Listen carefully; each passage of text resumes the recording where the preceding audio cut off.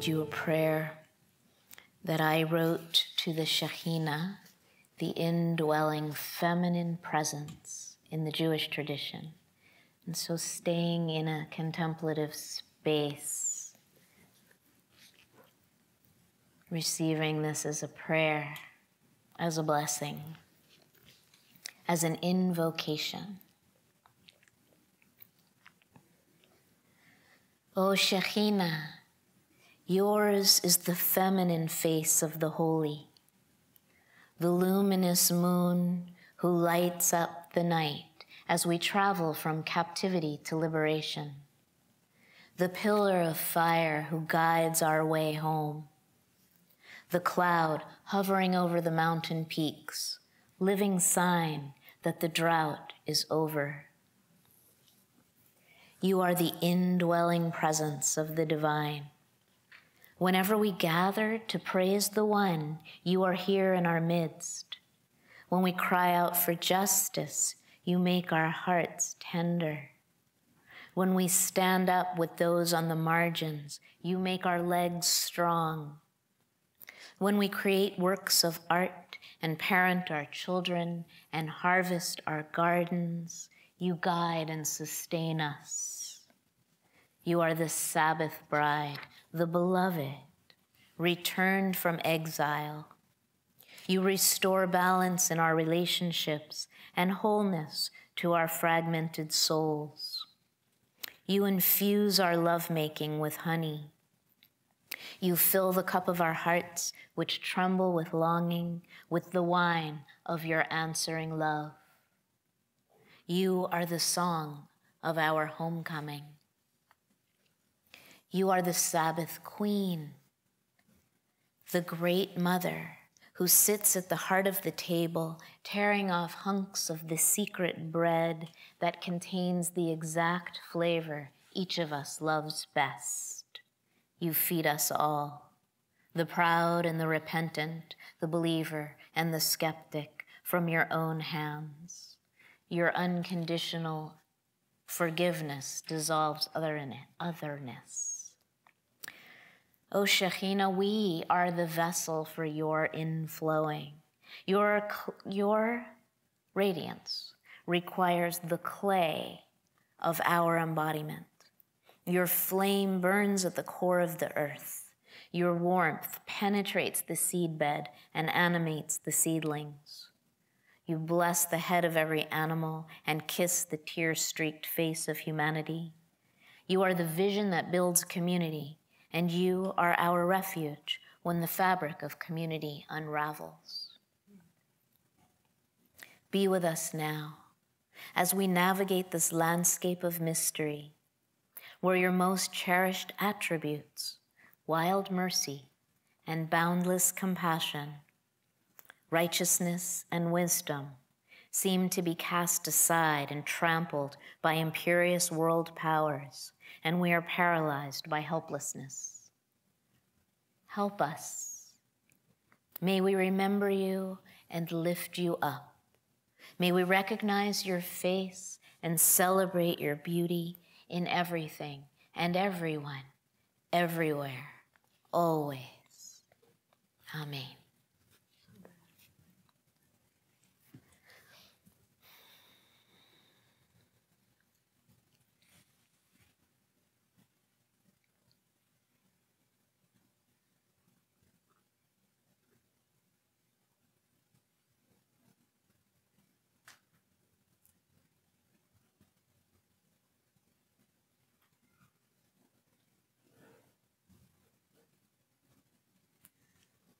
So, even if you even if Judaism is not your tradition, you can go ahead and appropriate the Shekhinah. She belongs to you. She belongs to everybody, and, and we belong to her. And she lives in the Sabbath. Like the Sabbath in Judaism. How many Jewish people in this room? Okay, so you know this. This Shabbat is feminine. She's the bride and she's the queen. She is the embodiment of the Shekhinah. She is immanence. She is the transcendent Holy One pouring in to the body, to community, to family. She is our connection to the earth. She's our connection to sexuality and sensuality. She's our connection to the other animals. The Shekhinah is the embodied, indwelling presence of the feminine, uh, of the divine.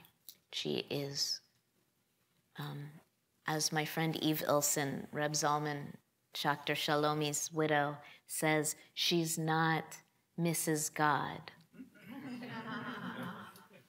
as, as Kali and Durga in the, are in the Hindu tradition, they are also the, they are God. They are God. They're not like the girl God. And so Shekhinah is, is the divine here in our human experience. And she is said to be exiled most of the time, to live in exile, except on Shabbat, when we light those Sabbath candles on Friday as the sun goes down. We welcome her, we welcome the Sabbath, we welcome the Shekhinah. And then on Saturday, when the sun sets again, she goes back into exile, it is said, and it's a heartbreaking moment. In fact, it's so sad, sorrowful, and painful that there's a ritual, Havdalah, which involves sniffing from a box of fragrant spices so that we won't faint with sorrow and longing for the sweetness and deliciousness that it is to navigate the holy land of Shabbat with the Shekhinah in our hearts. So I don't know about you, but I'm in a subversive mood.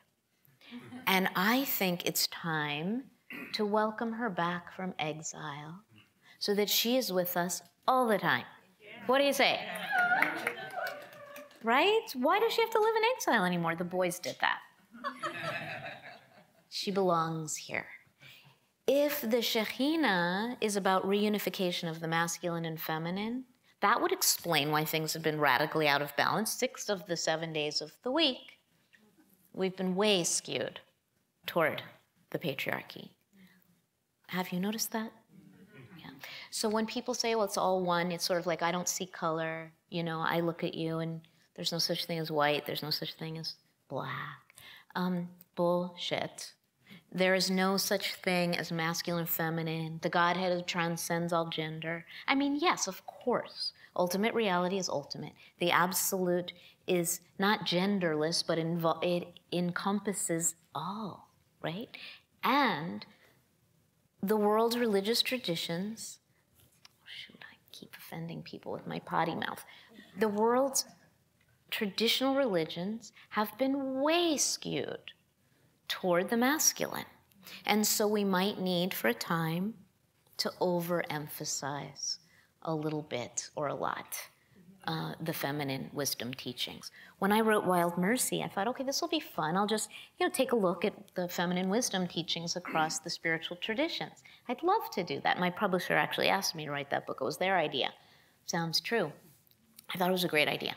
Well, not so easy those feminine wisdom teachings are deeply buried, and they're buried intentionally. So I felt like a spiritual archaeologist, you know, digging up the, the wisdom of the feminine across the spiritual traditions. And in some cases, it was really hard to find. Yeah, they, they, that was designed that way in, in many ways. So, um, so we're working on it. Women, men, people of all genders are hard at work or uh, and joyfully at work to rescue these feminine teachings from the, their hiding places. And so I know that this conversation that we're having, I don't mean just in this room today. This is an odd room. I, I prefer Sivananda Ashram in the Bahamas. It's like this big palapa with a thatched thing with beautiful plants, and or in the basement. Anyway, um, it, it's nice though. So this conversation we're having having in this room and also just across the human family right now, and not only in the spiritual communities, but in politics, in, in the entertainment industry, in all of the ways that humans come together and collect to express ourselves, this conversation is happening. It's so exciting, isn't it? And I mean, I think the reason this room is almost 50% men, I've truly, I've never, I've been on the road with this book for eight months and I have never seen this percentage of, of men in um, these wild mercy spaces. That's why I wanted to check and make sure you hadn't made a mistake. I'm giving you another chance now.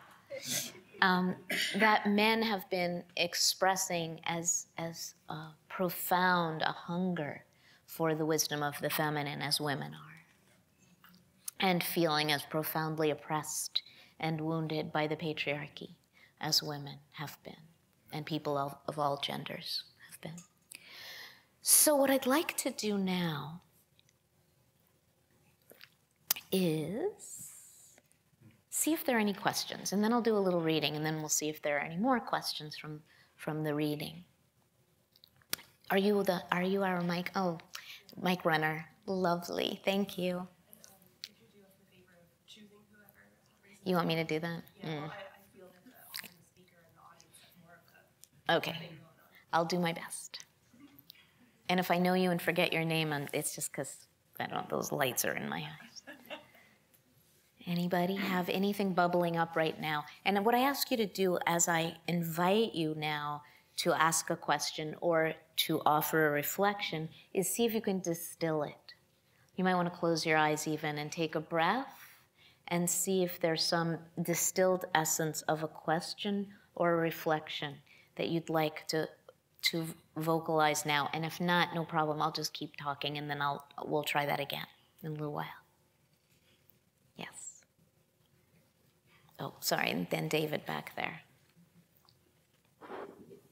Thank you. I, I, have to say I am here by mistake. Okay. Uh, but I didn't want to leave, and I'm glad I didn't because when you discussed the uh, feminine sh- Shekhinah Yeah. uh, descending into us, I felt uh, all of a sudden I was bathed by love uh, coming into my presence, and and I thought, well, this is just what I've been missing. So mm. I'm apparently in the right place after all. Oh, how beautiful. Thank you. Wow, and you distilled that beautifully. Well modeled. Thank you. And so David over there.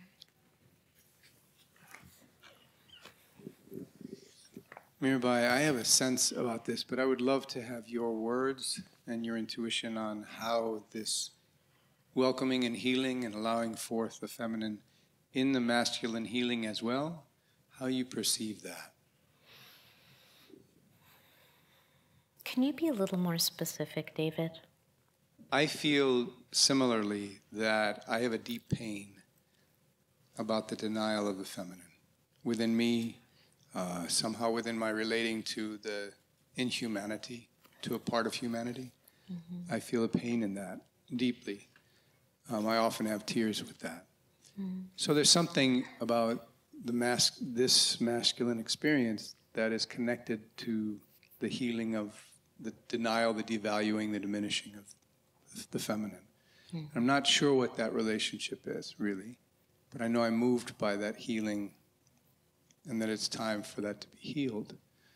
And I feel that. So I just wondered if, from your perspective, you have any thoughts about what that bridge is a relationship within the, the masculine that is also being healed by welcoming the feminine again, mm-hmm. or maybe for the first time.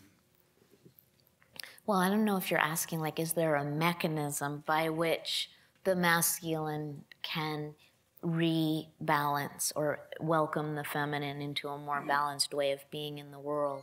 Or if you're actually um, expressing your own sense of of pain of that disconnect and your and your um, longing for that to be rebalanced in yourself by in enfolding the feminine more into your life. I mean, I know you a little bit, and I feel like you're a model of that, of a man who's opening his heart to the to the energy of of the feminine and finding a balanced way to be in, in the world. So I don't know if, what the question is because I think that you're that you're basically just stating that your longing to to integrate um, is real and, and it sometimes causes you pain. Yes. And I think maybe this is almost a conversation, an explorative conversation of why the masculine is in such pain mm-hmm. also around right. this. That's more, I'm interested in this being a conversation about that, why we hurt as yeah. well. I, I, pers- I, have a, I have a response all of a sudden Great. that's bubbling up. Um, and it has to do also with the conversation around race and around the way we treat the earth and all of those things, the way we have marginalized women's voices and thereby given ourselves as a human community um, permission to take what we want uh, from the earth and from other human communities. This is all an artifact of this imbalance of the masculine. When we when we silence and marginalize and oppress women's voices, it makes it much easier because the feminine is so much about embodiment to then um, violate the earth as if it were a thing that belongs to us. And we, those of us who are waking up to this connection between the way that we treat women and the way we treat the earth, are, are in it hurts to recognize that. And if we can stay present to that pain, then this a shift, an alchemy can begin to unfold by virtue of not running away from the pain that we feel. The feminine is a, is um, a zone in which seemingly contradictory propositions coexist in the vastness of the broken open feminine heart. So the feminine looks upon the suffering of the world and doesn't say, hmm, how can I modify, repair, fix, and, and di- first diagnose and then engineer a solution to these problems first, although we need all the, the engineers that we can on, on these issues. But the feminine first feels the pain of the world and allows her heart to be broken and broken open. Those of us who know that California is once again burning as we sit here have been feeling you know in- incredible grief and anguish about what's happening to our mother earth right in very close proximity. Um, staying with the pain and allowing it not only to hurt but to shatter us to allow ourselves to be shattered by the pain of the world is the space in which the feminine abides, lives. This is our territory. And it's from that broken open space. It's from the man feeling the pain of the way women have been oppressed. And it's from white people allowing ourselves to feel the grief and pain of our sisters and brothers of color and not run away from that pain, but be present with it, that any kind of integration and unification is possible. If we just go directly to we are all one, God has no gender, race is an illusion of our perception, then we do not allow ourselves to enter into the crucible of transformation that begins with allowing our hearts to be broken. So, men who are feeling the oppression of the feminine in women and in themselves and are feeling pain, thank you. I invite you to feel it all the way. White people who are feeling like, oh my God, I actually am complicit in racism in ways I never imagined. Like, I thought my old Uncle Charlie from Alabama was a racist, and I'm the least racist person I know. I have five black friends, whatever. We, we think of racism as some kind of personal um, belief system. And it's taking us quite a while, white people, contemporary white people, I'm not saying everyone in this room is, but most of us are, to recognize the unconscious ways, I mean, that's why they call it shadow. We can't see it unless it's pointed out, that we participate in structural racism, in institutionalized white supremacy, because it benefits us. And every, we look around and, and the world just sort of supports our dominance. Like the norm is white. In fact, the norm is white dude. And so it takes uh, an effort to, to actually come to grips with, with our own complicity in these structures that have and continue to oppress our beloved commu- communities of color to which you know we for for whom we are also responsible. But so the term white fragility is such a good one because it just it's like our response when we feel the pain of the ways that we have participated in these structures that cause suffering is to either defend ourselves or if that doesn't work to run away or if that doesn't feel right to over apologize and put the emotional burden on the people who are trying to like point out these realities to us. And that doesn't work either. And so what works? What works is to enter into the wild feminine heart and allow ourselves to be broken-hearted to let that pain dismantle us and remake us. I see a question or a reflection and these are all connected, is what I'm trying to say misogyny, patriarchy, oppression of the earth, and white supremacy. Do you see the ways that they're all connected? And do you see the way that the feminine heart is the healing space? Because this is the broken open heart. Thank you. And um, I just wanted to thank you. And because I know the feminine is also tender and caring and these spaces that we create together are, um, I believe, our actions and our experiences inside these spaces are important. Anyway, we're about to leave. And we're leaving because we have to drive through the fire zone. Wow. And so I just wanted to say thank you. And we will take this with you, with us. And um, I feel like we've we've got a blessing to take with us. So that feels really good. Thank you. Thank you so yeah. much for sharing that and bless you on your way and and the the forests where you live and the creatures and all of it. Lots of love to you. Thank you. thank Um, so the, so okay, good. Now there's some questions and reflections. So let's see. Rick and then Janai, Janai and then the guy in the middle. I'm going to interview Mirabai tomorrow, but I thought I'd try out a question on her. if, it, if, it's a good one, we can do it again tomorrow. okay. um, but, you know, we, we hear a lot about the ramifications of the dominance of the masculine, and you were just you know, itemizing some of the negative effects of that on the world. Um, do you think that if the feminine were to become as predominant as the masculine has been, that there would be a dark side to the feminine? And if so, what would some of those um, things be that we would want to, again, create some kind of balance in order to? And, and, and is there such a thing as a balance, or is the pendulum always going to swing, do you think? Okay, so that's okay. I have to take a breath before I answer that one. Um, it doesn't matter. Do not worry about the imbalance of an overdominance of the feminine. We have thousands of years of imbalance to grapple with.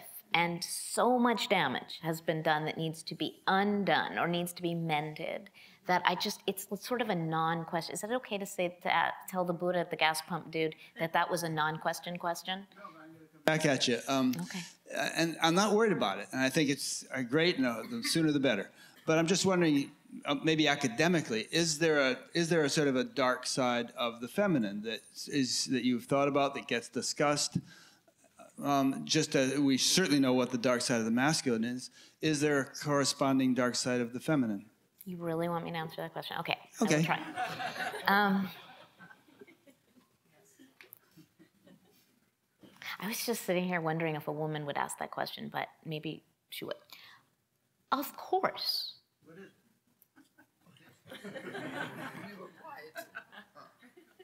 I feel like I want to ask someone of the women to answer that question. We were quiet for far too long. We were quiet for far too long. I hear there's a there's a dark side. Yeah. What else? Can I respond now? Yeah. I feel Wait, do you need the mic? Um, In answer to that question uh, from personal experience, the distortion comes from the imbalance of the feminine, the yin that is already missing, which actually distorts both both the masculine and feminine. So what we're seeing is a distorted masculine and feminine in our culture and an imbalance in the world as a result.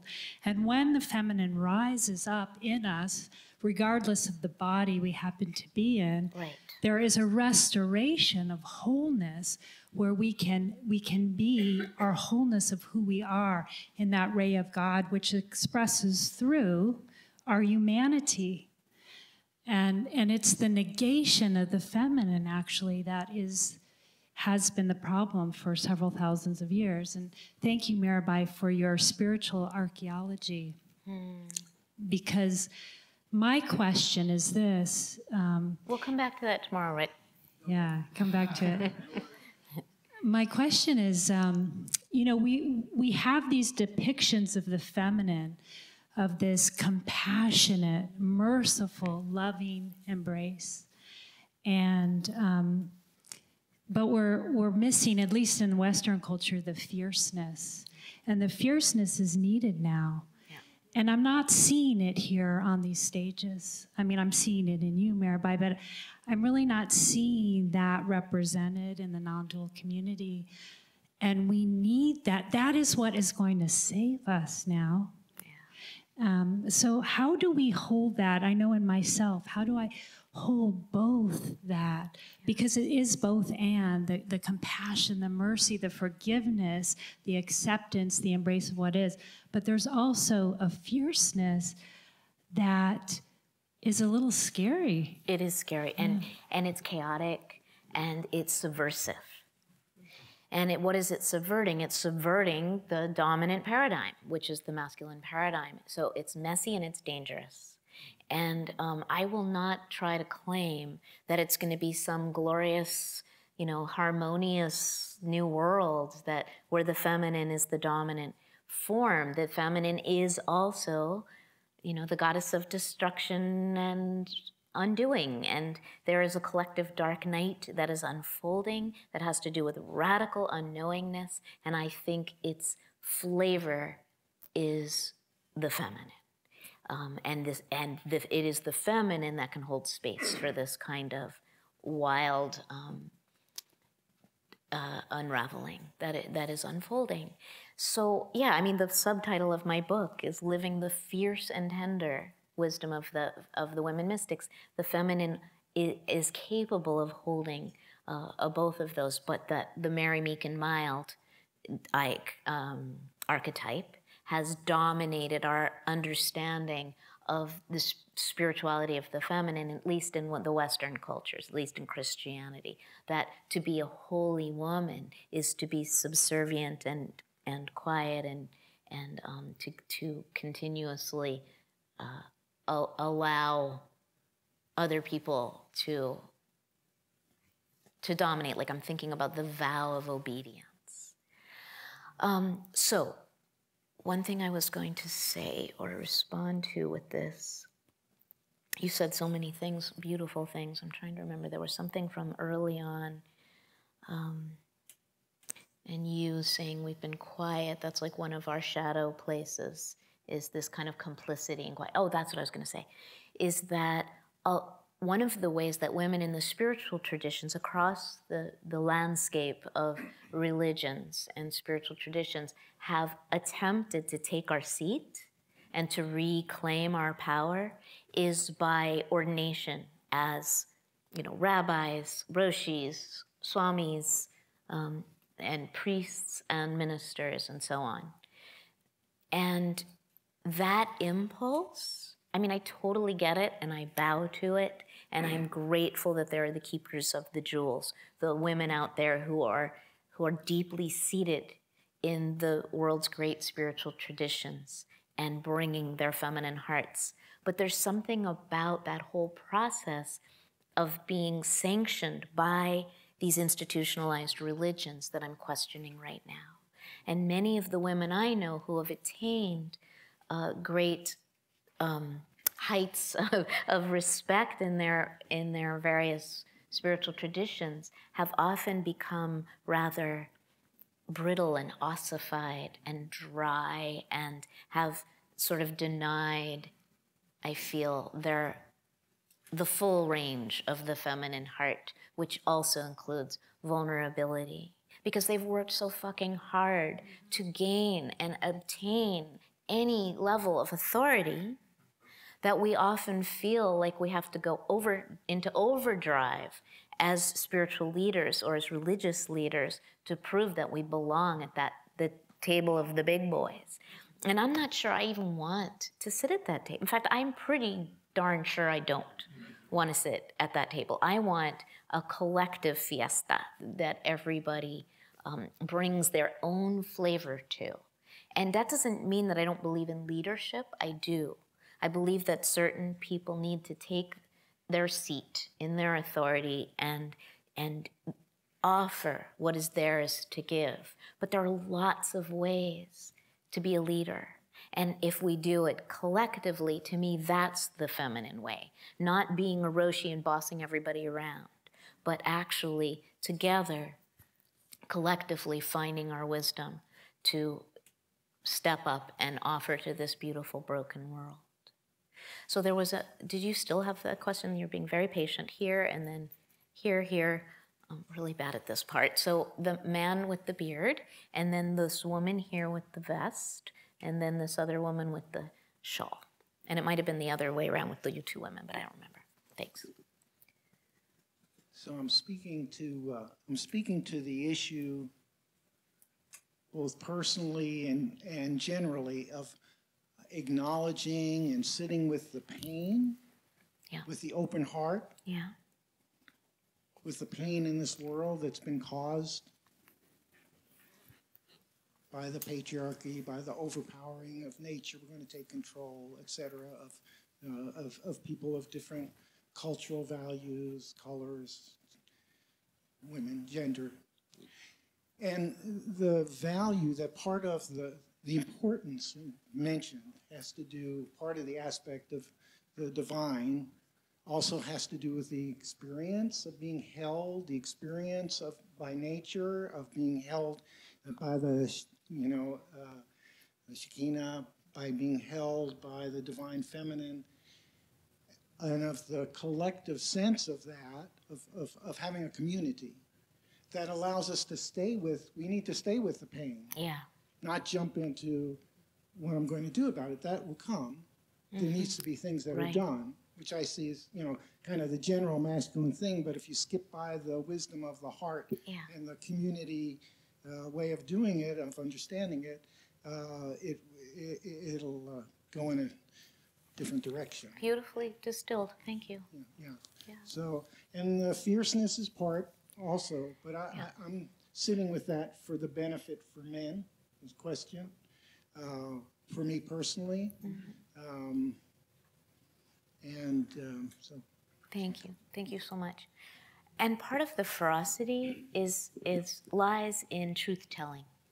You know, telling the truth, speaking truth to power. It takes a lot of chutzpah to do that, and um, that is what is required for women. Not so much for men. In fact, I recommend that you just like be quiet for a little while, and women start telling the truth telling those hard truths and know that you're telling the truth in a circle of belonging that is not up to you. That's another artifact of the masculine is the idea that we are these lone prophets that need to charge forth with our swords of unconditional truth drawn you know to vanquish the enemy of illusion. But the feminine knows that this is a, a collective response to to um, a global reality that we can only we can only do it together. That's so comforting, isn't it? You know, tikkun olam is the is the phrase in, in Hebrew, right? That the, the repair of the world.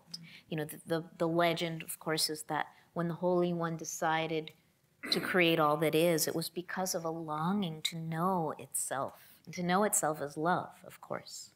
And so it poured itself into these vessels. It's, and it actually contracted into these, into a dense, dense state, and then exploded. What does that sound like? And um, the Jewish Big Bang, I call it. And the shards of light and the shards of darkness scattered everywhere, and that created the cosmos. And then human beings were, were created to restore the vessels to wholeness, to repair the shattered world, to mend the tattered web of interbeing. And we do that through every act of chesed and, and tzedakah, of loving kindness, of, of generosity, but also of wisdom and also of righteousness and also of fierce truth telling. It's like the bird can't fly, as they say in Buddhism, the bird, the bird can't fly without the wings of compassion and, um, and wisdom. Yeah, being equal. And so ours, our task of repairing the world, thank God this, is not up to us alone. That's the, that's, that legend would imply that it's your job to mend this broken world. But it is, the, the feminine understands that we can only do that together. Okay, two, I, I have no idea what time it is because I don't have my timekeeping device. Nine minutes. Nine minutes? Okay. What did you say, Kirk? Okay. So I, I think um, it's important to notice that the feminine has lots of aspects. Right. It's not just the, the, the sweet, loving, compassionate one. And that Kali is not just about, about stomping out what men have done. Kali is a, stomps out all of our illusions, all of us who are in denial, all of us who are lost. And um, taking in those different aspects of the feminine and the masculine has been very healing for me yeah. as a as a woman. And I don't think it has to be. I only get to heal through the divine feminine. I'm healing now and trying to balance, which Carl Jung said is what happens in the second half of life, is you balance the the masculine and feminine qualities and integrate them. So um, I just want to hold that space for that. Thank you. I recommend this book, here, Wild Mercy, I make that case. But thank you. Um, my comment is related to our earlier conversation. Um, but on the night that Donald Trump was elected, the face of Kali appeared on the Empire State Building. And, uh, and I thought, you know, the comment that was made was, you know, believe me, at this time you've opened the door for Kali to enter our world. So I thought that was very interesting in regard to speaking about the fierce qualities of the feminine. Yeah. But the question I had prior to that was before we came here, upstairs, um, we heard two wonderful presentations one by Lyla June, um, a wonderful woman of Navajo tribe, and I take full responsibility for bringing Lyla June. Oh, thank you so much. She Welcome. was wonderful. And she was immediately followed by Peter Russell. Yeah. And their two presentations were so contradictory in a way to each other because his was, you know, computers are getting faster and faster and the world is going to go faster and faster. And, you know, I could just see this whole unfolding of a digital kind of reality in contrast to the way she spoke about the future and, and the present. And I wonder how you see those two pictures evolving. Do you, do you see that happening simultaneously or one taking down the other or? So encapsulate for me what you see as Lyla's version of what's going I on right now. Because Peter, because Peter, by the way, he, so he said it's all it's all speeding up. The technology is, it's just Faster speeding up, right? Faster. But he also said consciousness is rising right. in yeah. Yeah. So so I think of consciousness rising being the balance mm-hmm. that we need between the 2 mm-hmm. um, but it felt to me one one was so taking away from our attention to the world and to the earth and the creatures through mm-hmm. the speeding up of things and the attention to digital devices, et cetera. And hers was so much an invitation to own that we belong to the earth and, and you know, just the whole beauty of, of her teaching. Mm-hmm. So I felt a contradiction, especially until Peter at the end brought in the consciousness piece. Yeah. But I do see that happening, both happening kind of simultaneously, and I wonder about your perspective on that. Yeah. Um, I am very hopeful. This is a good note on which to end, to close, to draw toward a close. Is I am very hopeful that what he called consciousness and I would call love, which are the same thing, I think, in a way, um, is is prevailing, even though it doesn't look like it. Like if you look at the news and you look at the sort of the evidence, it's um, it looks like hate and duality and divisiveness and um, you know what is it called inventing the truth and all of these things that are that are so obvious fundamentalism in religions is is dominating but i think that the very nature of love is that it's it's comes from deep in the belly of the earth. It's a it's a wellspring. It's an aquifer.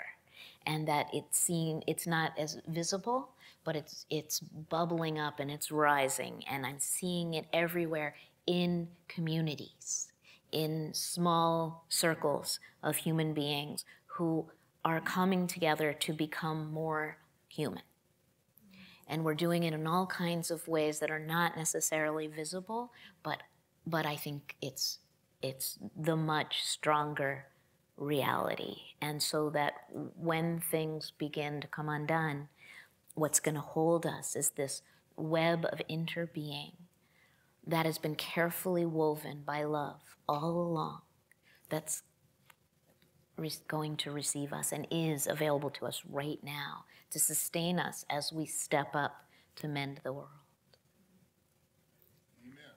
Amen. Mm-hmm. Thank you, my loves.